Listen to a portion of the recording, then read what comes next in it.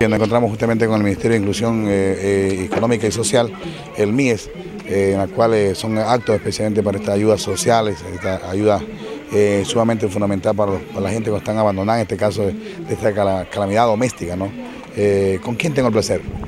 Mi nombre es Aini Salazar, soy educadora de CNH, eh, trabajo aquí en el Cantón Pueblo Viejo y represento al Ministerio de Inclusión Económica y Social. Eh, fue lamentable hoy en la mañana encontrarme con esta situación del, señor Lucas, eh, donde venimos y lo encontramos en condiciones precarias. Este, como podemos ver, en ese momento se hizo la articulación con la policía, con el cuerpo de bomberos, con el Ministerio de Salud, pues ya han sido atendidos eh, por el Ministerio de Salud y donde se les ha dado ya toda la, atención necesaria este, para el día de mañana. claro, entre mis compañeras y con personas de aquí de la comunidad se les hizo el aseo personal porque lamentablemente estaban en unas condiciones que demasiado precarias. Eh, en, el estado que ustedes encontraron a él, vemos aquí en la cámara, vemos ahí tabla, el señor está un poco triste, dice que le están quitando todo. ¿Y qué es lo que te dan ustedes? Le están sacando? ¿Son basura escombros? A ver, lo que está allí es, pura, es basura, lo que consideramos que ya no sirve. Hemos este, pedido ayuda al gobierno autónomo descentralizado aquí del Cantón Pueblo Viejo, el abogado Carlos Ortega Barzola, quien nos ha venido apoyando y bueno, con él conseguimos lo que es las tablas para el piso y hacerle la remodelación del piso en la parte de arriba. ¿Sí? Entonces, y con personal de ahí mismo del municipio que nos está haciendo, eh, nos está ayudando.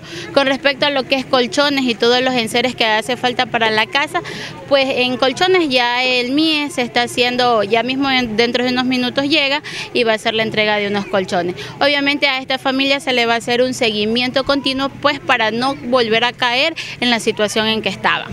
Pero por ahora alguien se compromete para lo que es de la alimentación. Imagínense que una persona puede tener de todo, mientras no haya alimentación, es lo mismo que nada. Sí, es verdad. En eso de allí, pues el líder comunitario en el día de hoy nos ha ayudado con la alimentación de, las tres personas, de las cuatro, porque hay un niño más.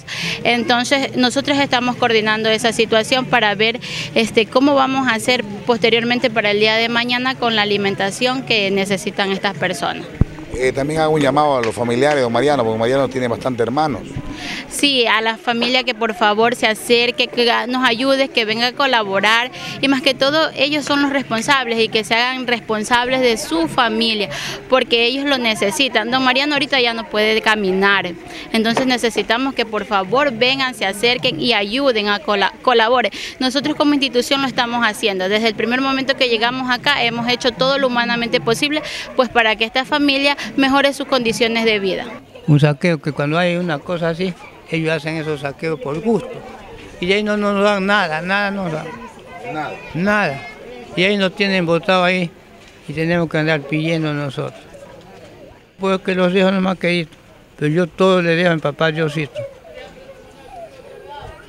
Esas, esas cosas son buenas.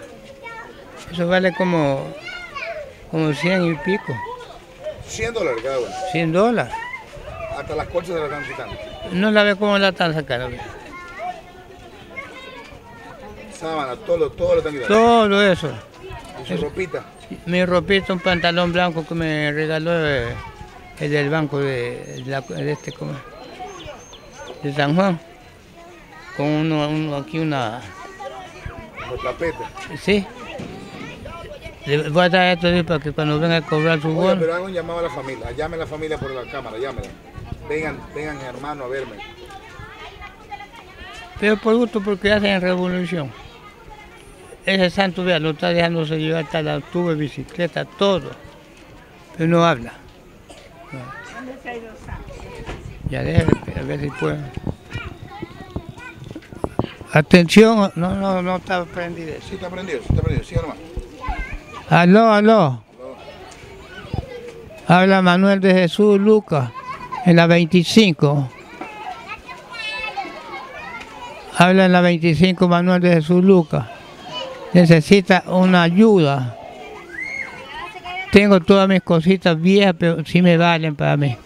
Ve, ese pantalón mío es bueno. El pantalón vale 150. Vea, ya se lo lleva. Siga, siga. Y se me van llevando todo lo más bueno. Atención, atención. Se me van llevando mis cositas más buenas y yo con qué me quedo yo hoy. No. Me quedo botado en la calle de aquí. Se van llevando tabla que me mandó Francisco Lucas, me mandó un poco de tabla para que arregle la casa. Mandó unos maestros para que me la arreglen. Y ya ahora como está enfermo no ha podido ayudarme. Así que yo pido una ayuda que hable mi familia, hable. No me deje robar mis cositas. ¿no? Eso es un abuso, llevarse las cosas. Cuando lo ven que uno no, no puede moverse, que está caído, ahí le hacen los asaltos, le hacen. ¿no?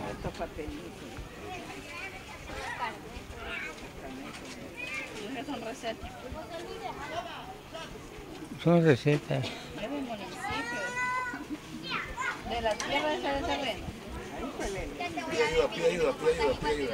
Así que ayúdenme. Pueden llevárseme también escritura. La escritura de mi casa, todo llevárseme. Así que aquí está hablando Manuel de Jesús Lucas. Un hombre que chiquito aprendió a andar con la señorita Soline Puga. Puga, esta Cisolín. Y yo he andado con los abogados, todo en Casa Grande, en Guayaquil. Y veo ahorita lo que están haciendo conmigo. Pues Manuel de Jesús Lucas.